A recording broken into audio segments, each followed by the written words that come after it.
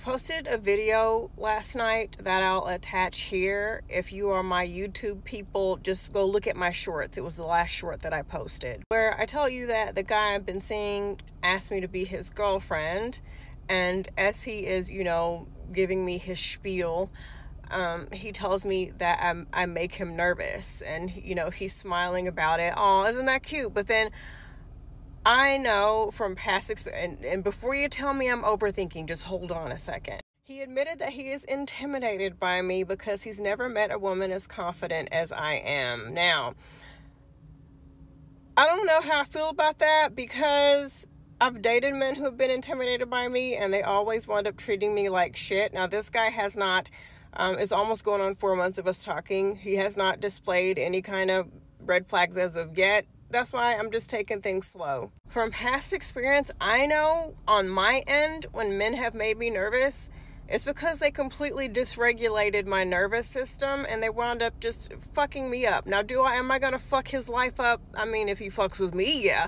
But other than that, that I don't go out with the intention of being mean to people. Hold on. I am not in a rush to have children with anyone and I also already have two children. I'm not in a rush to get engaged or to be married or to live with someone or to be in a relationship. I am financially stable, so I'm not looking for somebody to provide for me. There is no sense of urgency. I am whole and I love my life as it is. I don't feel like there's anything missing or broken. So, relationship, a man, is not a need in my life with that being said, I can carefully examine the things that guys tell me. I can take the time to actually hear and go home and marinate on whether this actually makes sense to me. I can actually listen to my gut. And and if there are any red flags, pay attention to that and and and know that I can get the I need to get the fuck on. And you know, it's really frustrating that women they'll hear us say like decenter men and they're like, "Well, I still want to date men. I still want to." We're not saying that you can't. And at least I have never, you know, well, maybe I have jokingly, but I would never say, you know, you you're not allowed to get married.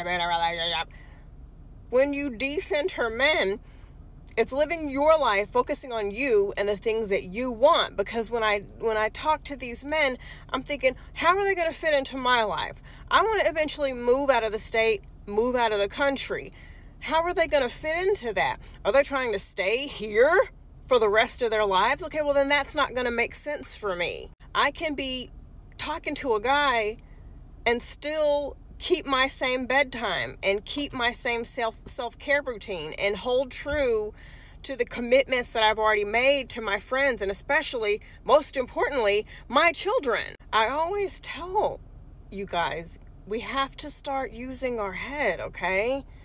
Because have we not heard enough cautionary tales of women who just fell in love and then smacked the concrete and lost everything? The women who have lost their lives, men have the potential to completely screw you over and ruin your life to the point where it is unrecon to the point where you're sitting on the edge of your bed one day thinking what the fuck was i involved in? And i really wish more women would understand that. So someone might think that i'm overthinking or being too this or being too that or being extra i need to just relax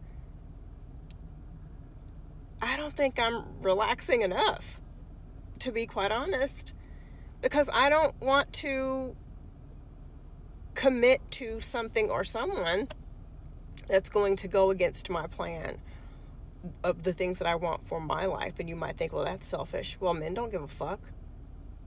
When they're looking for a woman who will fulfill their purpose and give up everything to fulfill their purpose, and to build them up and to help them get promoted and to build their fucking business and to write they can they love having children because you're going to fucking raise them.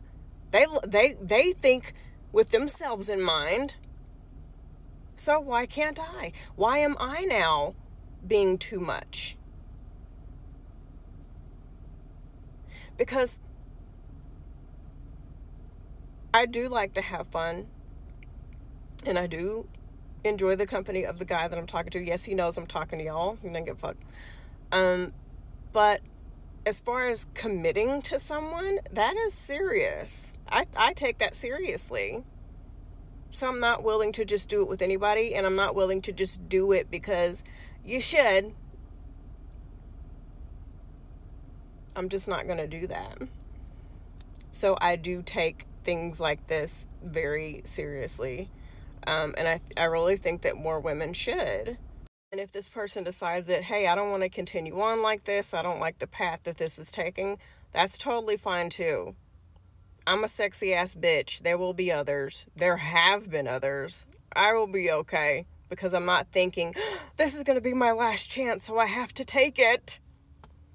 That's also another way that we get ourselves in trouble. Men are like buses.